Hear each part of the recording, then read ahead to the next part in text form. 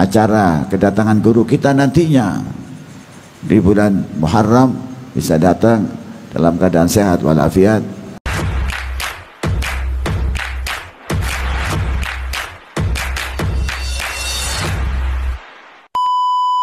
Ucapan yang paling baik yang diajarkan Nabi Muhammad la ilaha illallah. Kalau kita sudah tahu itu setiap pagi kita ucapkan la ilaha illallah la ilaha illallah la ilaha illallah la ilaha illallah la ilaha illallah. Malam hari juga sama mau tidur kita ucapkan la ilaha illallah la ilaha illallah la ilaha illallah. Kemudian setiap subuh sambil nunggu isyraq dalam duduk kita ucapkan Astaghfirullahaladzim wa atubu ilaih. Astaghfirullahaladzim wa atubu ilaih. Astaghfirullahaladzim wa atubu ilaih Ucapan ini Astaghfirullahaladzim wa atubu ini Akan membuka pintu-pintu rahmatnya Allah Langitnya Allah ini. Orang yang berdosa ini Amalannya akan tertahan Antara bumi dan langit. Pada saat kita mohon kepada Allah Astaghfirullahaladzim wa atubu ilaih. Astaghfirullahaladzim wa atubu Ini pintu dibuka semua oleh Allah. Rahmatnya Allah akan diturunkan oleh Allah Orang yang rezekinya sulit akan dimudahkan oleh Allah. Insya Allah amalan-amalan itu pelan-pelan bisa kita jalani istiqomah. Ya setelah kita menghadiri majelis-majelis semacam ini biasakan setiap subuh kita minta maaf kepada Allah. Astaghfirullahaladzim wa atubu ilaih. Astaghfirullahaladzim wa atubu ilaih.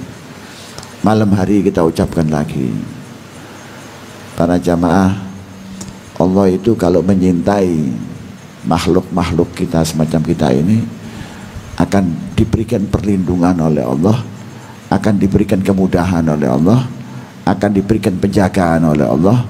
Sampai kita nanti akan ketemu kembali kepada Allah kita dalam keadaan nikmat. Insya Allah kita semua merasakan kenikmatan itu. Mudah-mudahan kita diperpanjang umur oleh Allah bisa ketemu Ramadan yang akan datang. Mudah-mudahan amalan-amalan Ramadan kita ini diangkat oleh Allah. Mudah-mudahan orang tua kita yang masih hidup ataupun yang sudah wafat dibersihkan dosa-dosanya oleh Allah. Yang sering kita minta kepada Allah untuk orang tua kita. Supaya kita punya keturunan nanti akan berbuat yang sama kepada kita. Kita minta kepada Allah mudah-mudahan para guru-guru kita ini diberikan panjang umur oleh Allah. Dikabulkan oleh Allah. Kita minta kepada Allah supaya dimudahkan guru mulia kita Al-Habib Umar bin Muhammad bin Salim bin Hafid hadir di acara hallnya Syekh Bakar bin Salim. Mudah-mudahan diberikan kemudahan oleh Allah. Dalam afiah untuk hadat untuk niat ini saya mohon kepada yang hadir untuk membaca fatihah tujuh kali. Mudah-mudahan niat ini menjadi sebab Allah melapangkan memudahkan acara kedatangan guru kita nantinya. Di bulan Muharram bisa datang dalam keadaan sehat walafiat. Sebagaimana biasanya dan dijauhkan dari segala macam fitnah musibah bangsa ini akan diberikan oleh Allah pemimpin yang akan menjaga umatnya Nabi Muhammad ala hadinnya wa ala kulli niyatin salihah wa ila hadratin Nabi Muhammad sallallahu alaihi wasallam bisirril Fatihah أعوذ بالله من الشيطان الرجيم. بسم الله الرحمن الرحيم. الحمد لله رب العالمين. الرحمن الرحيم. مالك يوم الدين. إياك نعبد وإياك نستعين. اهدنا الصراط المستقيم. صراط الذين أنعمت عليهم غير المغضوب عليهم ولا الضالين. آمين. بسم الله الرحمن الرحيم. الحمد لله رب العالمين. الرحمن الرحيم. مالك يوم الدين. إياك نعبد وإياك نستعين. اهدنا الصراط المستقيم.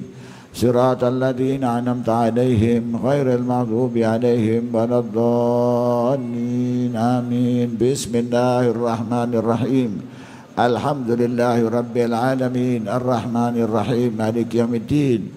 إياك نعبد وإياك نستعين اهدنا الصراط المستقيم.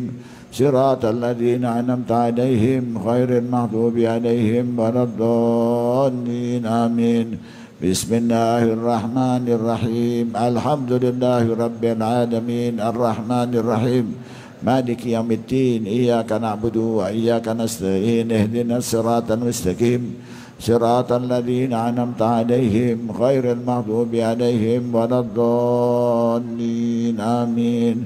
بسم الله الرحمن الرحيم. الحمد لله رب العالمين. الرحمن الرحيم. مالك يوم الدين. إياك نعبد وإياك نستعين. اهدنا الصراط المستقيم. صراط الذين أنعمت عليهم غير المغضوب عليهم ولا الضالين. آمين. بسم الله الرحمن الرحيم. الحمد لله رب العالمين. الرحمن الرحيم. مالك يوم الدين. إياك نعبد وإياك نستعين. اهدنا الصراط المستقيم. صراط الذين أنعمت عليهم غير المغضوب عليهم ولا الضالين. آمين. بسم الله الرحمن الرحيم. الحمد لله رب العالمين. الرحمن الرحيم.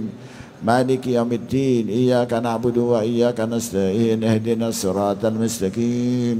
صراط الذين أنعمت عليهم غير المغضوب عليهم ولا الضالين آمين.